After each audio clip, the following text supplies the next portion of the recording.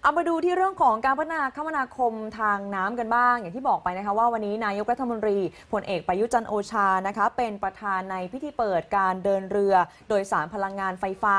เส้นทางคลองพระดุงกรุงเกษมเต็มรูปแบบไปวันแรก ซึ่งถือว่าเป็นเส้นทางคมนาคมขนส่งสายแรกของไทยที่เป็นมิตรต่อสิ่งแวดล้อมค่ะ โดยท่านนายกทดลองโดยสารเรือจากท่าเรือสถานีรถไฟหัวลำโพง ไปยังท่าเรือตลาดเทวราช และชมการสาธิตการกลับลำเรือในพื้นที่จำกัด 360 องศาก็ทำได้นะคะโดยบรรยากาศระหว่างที่เรือผ่านตลาดโบเบ้ค่ะเขาบอกว่ามีประชาชนริมคลองเนี่ยตะโกนให้กำลังใจท่านนายกว่านายกสู้ๆลุงตู่สู้ๆขณะที่นายกเองก็ตะโกนถามกลับไปนะคะบอกว่าได้ลงทะเบียนโครงการคนละครึ่งหรือไม่ นี่ก็เป็นโครงการที่ประชาชนค่อนข้างที่จะชื่นชอบ แล้วก็ได้ประโยชน์กันมากพอสมควรเลยค่ะ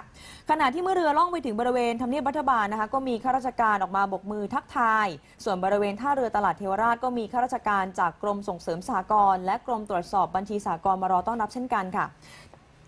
นี่นะคะก็เป็นบรรยากาศขณะที่เรือของนายกรัฐมนตรีแล่นผ่าน แล้วก็มีพ่อค้าแม่ค้ามาบกมือแล้วก็ให้กำลังใจกัน บรรยากาศก็เป็นแบบชื่นมื่นนะคะ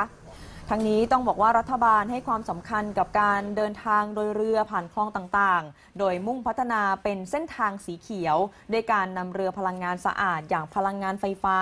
มาให้บริการแทนเรือเครื่องยนต์ดีเซล ก็นับเป็นเรือที่เดินเครื่องด้วยเสียงที่เบา แล้วก็ปลอดฝุ่นควันค่ะ สำหรับเรือที่ให้บริการบนเส้นทางคลองพดุงกรุงเกษมนะคะเป็นเรือพลังงานไฟฟ้า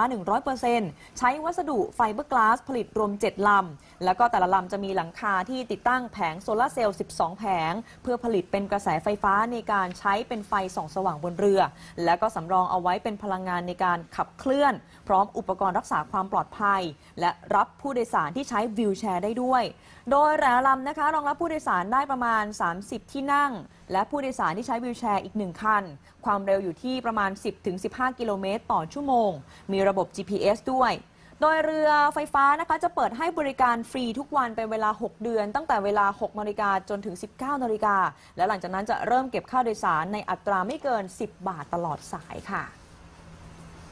วันหน้าเราก็เดินหน้าไปสู่ไฟฟ้าหรือการใช้น้ำมันยูโร5ยูโร6ใช่ไหมแต่เราต้องพร้อมในการผลิตน้ำมันยูโร5ยูโร6ของเราเองนะถ้านำเข้ามามันแพงมากเข้าใจไหมตอนนี้กำลังให้ เขาผลิตเตรียมโรงงานการผลิตอยู่นะ วันนี้ก็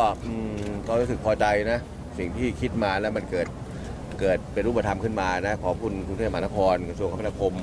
นะกรมเจ้าท่านะทุกคนทุกหน่วยงานที่